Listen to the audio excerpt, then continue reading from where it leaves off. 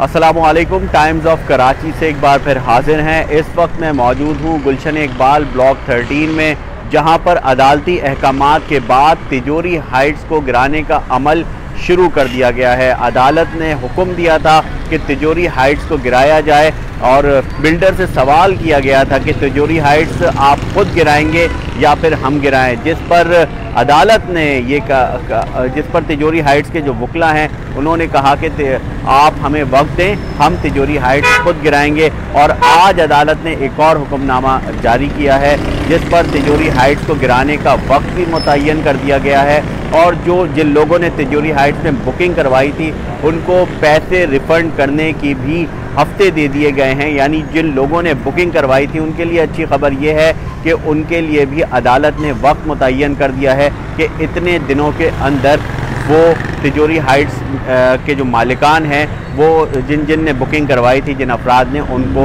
पैसे दें। थोड़ा सा मैं आपको अहवाल दिखाता चलूँ। इस वक्त तिजोरी हाइट्स के सामने हम मौजूद हैं और यहाँ पर आप देख सकते हैं कि जो तिजोरी हाइट्स की अपनी इंतज़ामिया है उन्होंने मजदूर लगाए हैं और जो शटरिंग डाली जा रही थी बेसमेंट और ये ग्राउंड फ्लोर बनाया गया था। अब वो शटरिंग्स खोली जा रही हैं और अदालत का हुक्म है कि अब तिजोरी हाइट्स को चंद हफ्तों के अंदर गिरा दिया जाए। उससे कबल जो जिन लोगों ने बुकिंग करवाई थी, वो अपना उन लोगों की बुकिंग के जो पैसे हैं, वो वापस किए जाएँ। बिल्कुल मेन यूनिवर्सिटी रोड के करीब, अगर आप यूनिवर्सिटी रोड से आ रहे हैं तो तिजोरी हाइट्स का ये हसन स्क्वायर की बैक साइड पर यह प्रोजेक्ट बन रहा था, जो कि गैर कानूनी करार दिया गया। और अब ये तय होना बाकी है कि ज़मीन सेंट गवर्नमेंट की है या रेलवे की। ताहम ये बात तय हो चुकी है अदालती फैसले में कि ज़मीन तिजोरी हाइट्स की नहीं है। मेरे साथ senior court reporter Bilal Ahmed मौजूद हैं जो कि नई खोज और करंट अफेयर्स विद बिलाल जो है उसमें आप लोगों को नई खोज और जो हालात हादरा पर मबनी जो तबसरे और तजिए हैं, उससे आगाह कर रहे होते हैं। बहुत बहुत शुक्रिया बिलाल टाइम्स ऑफ़ कराची को टाइम देने का। बिलाल, तिजोरी हाइट्स के हवाले से आज फिर अदालत को एक और फैसला जारी करना, हुक्म जारी करना पड़ा। वजह क्या बनी?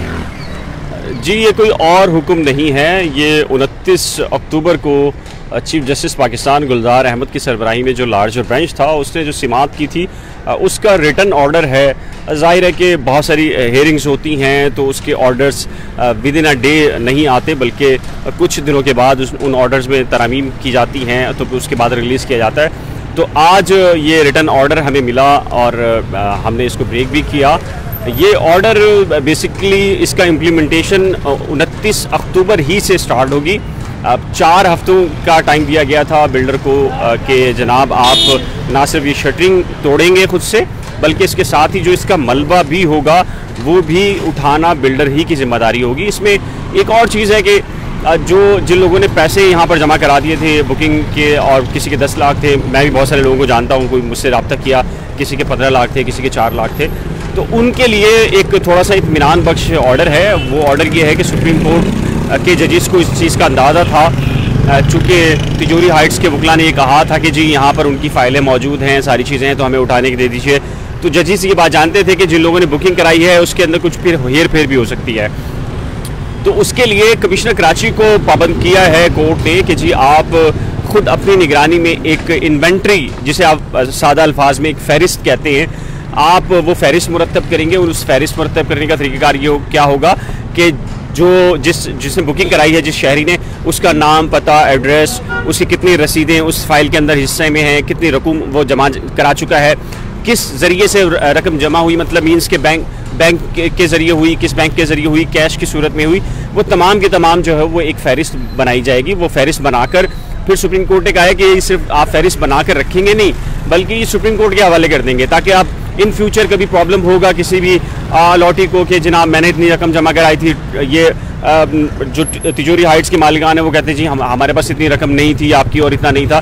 तो उन तमाम चीज़ों को कवर करने के लिए कि फ्यूचर में डिस्प्यूट ना हो किसी किस्म का, उसको कवर करने के लिए जनाब एक इन्वेंट्री बनाने का हुक्म दिया है। ये अमल तीन महीने में होगा ये बिल्डिंग तो खाली जनाब एक महीने के अंदर हो जाएगी। इसका सारा मलबा भी उठेगा और ये भी कार्रवाई बेसिकली जो अब भी हो रही है, आपको नज़र आ रही है हम मेरे पीछे, ये भी कमिश्नर कराची की सुपरविजन में ही डायरेक्शन है। तो बहुत सारे लोग जो ये समझते थे कि जी कराची के अंदर अगर आप पत्थर भी रखना चाहें तो पत्थर रख दें तो वो कोई हटाने वाला नहीं है, कोई माएगा लाल नहीं है। और ये बड़े एक कराची शहर के अंदर ये हर जगह ये आपको जुमले सुनने को मिलते थे कब्जा हो गया तो नहीं छुड़ेगा। ये ये हम हर दूसरे से बंदे सोचते थे, आपको मुझे भी ऑफ़र आती थी, ले लें, बना लें, कौन कौन दौड़ सकता है कराची में? तो अब आप ये देखिए कि नस्ला तो अब कुछ दिनों के बाद ज़मीन भी बॉस होगा, लेकिन उससे पहले अब ये जो तिजोरी हाइट्स है, इसकी बेसमेंट है नीचे। फिर ये फ़र्स्ट फ्लोर है फ़र्स्ट फ्लोर की छत डल चुकी है। इसकी छत डलने का मतलब ये है कि इसके ऊपर मजीद अगले कुछ माह के अंदर ही कंस्ट्रक्शन होना थी, लेकिन अब चूँकि ये कराची सर्कुलर रेलवे का हिस्सा और बदकिस्मती मैं ये समझता हूँ कि तिजोरी हाइट्स वालों की इसके आगे पीछे भी बहुत सारी इलीगल बिल्डिंग्स है। लेकिन इनकी बदकिस्मती की टाइमिंग ये है कि जी के रेलवे का जो संग बुनियाद कहने रख दिया गया है। जी जी जी वही बना है। असल में अगर ये एक साल पहले शुरू होता काम तो शायद ये आप इस वक्त तोड़ तोड़ने की नहीं बल्कि दिखा रहे होते कि ये जी इतने करोड़ का हो चुका है अब। ये दिखा रहे होते हैं लेकिन चूँकि के बनने का मंसूबा आया चीफ जस्टिस ने ज़बरदस्ती बल्कि यूँ समझिए कि पूरा ज़ोर दिया है सिंध हुकूमत पे कि उसको बनाया जाए तो उसके बाद ये फिर सारी कार्रवाई हुई है। तो बिलाल अब ये बताइएगा कि जिस तरह से जो यानी मुतासरीन हैं और जो लोग हैं, उनके लिए रिफ़ंड के लिए कितना टाइम दिया गया है? तिजोरी हाइट्स के जो बिल्डर्स हैं, उनको किस वक्त तक जो है जिन लोगों ने बुकिंग करवाई थी, उनके पैसे वापस करने हैं? और फिर साथ साथ इसके इर्द गिर्द कुछ और भी फ्लैट्स बने हुए हैं कहा यही जाता है कि वो भी रेलवे की ज़मीन है, मगर वहाँ तो आबादी हो चुकी है। देखिए, इसमें दो ऑप्शन हैं। एक तो तिजोरी हाइट्स है, जो भी बनने जा रहा था फ़र्स्ट फ्लोर डला है। और बहुत सारे सिविक व्यू है, इसके पीछे अब्दाली मस्जिद है, उसके पीछे इरम व्यू है, इरम गार्डन है, बहुत सारे और फ्लैट्स हैं। तो मेरा नहीं ख्याल कि ज़ाहिर है कि नोटिस उनको भी दिए गए होंगे कि आप भी ये खाली करें। लेकिन मेरा ख्याल है कि उनके ऊपर उस तरह का मेरा ख्याल से इम्प्लीमेंटेशन नहीं किया जाएगा क्योंकि ज़ाहिर तो अब लोग रह चुके हैं वहाँ पर। तीस तीस चालीस साल साल पुराने ये प्रोजेक्ट हैं। लेकिन तिजोरी हाइट्स चूँकि अभी फ़र्स्ट फ्लोर था तो इसलिए ये अब, अब आ भी गया और तोड़ने के अहकाम भी हो गए बल्कि टूट भी रहा है अगर आप पीछे देखें तो।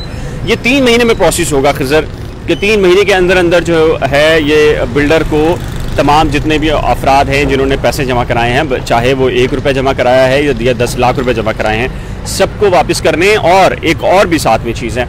सुप्रीम कोर्ट ने अपने ऑर्डर की लास्ट लाइन के अंदर ये लिखवाया है कि अगर बिल्डर ने ये जो ऑर्डर है, इस पर अमल नहीं किया, आप ये मत समझेंगे ये ऑर्डर हो गया तो ख़त्म, सुप्रीम कोर्ट का मैटर नहीं रहा। ये सुप्रीम कोर्ट में अभी भी चलेगा। क्यों चलेगा मैं बताता हूँ उसको। कि सुप्रीम कोर्ट ने अपने ऑर्डर में लास्ट लाइन्स में लिखवाया है कि अगर बिल्डर ने ये जो हम ऑर्डर दे रहे हैं, इसकी कोई खिलाफ वर्जी की, उस पर अमल ना किया तो हम कॉरिसिफ एक्शन यानी कि तादीबी कार्रवाई ये सख्त ऑर्डर पास करेंगे। तो अब ये जो कमिश्नर कराची हैं, ये जब मलबा उठेगा यहाँ से इन्वेंट्री जाएगी, सारे डॉक्यूमेंटेशन जाएँगे तो कमिश्नर कराची जो है, वो रिपोर्ट जो है, वो सुप्रीम कोर्ट में देंगे कि जी, ये मैंने डॉक्यूमेंट लिए थे, मैंने ये कार्रवाई की है, मलबा यहाँ उठाया, इसके ज़रिए उठाया, ये क्रेन थी। और फिर मैंने ये फहरिस्त बनाई थी कि कितने लोगों ने बुक करवाया था। फिर उन सब की जो अदायगियाँ होंगी डेफिनेटली मेरा ख्याल है कि आगे जाकर सुप्रीम कोर्ट जो है वो ये भी बिल्डर से नहीं कराएगी, बल्कि कमिश्नर कराची ही को या हो सकता है कि ऑफिशियल असाइनी मुकर करे, जो कि जिन लोगों ने पैसे अदा किए हैं, उनको उसके ज़रिए जो है वो रकूम की अदायगी हो। अच्छा फ़िलहाल फिर इसके साथ साथ मुझे ये भी बता दें कि अब तिजोरी का तो मसला हल हो गया सर्कुलर रेलवे का संग बुनियाद भी रख दिया गया है।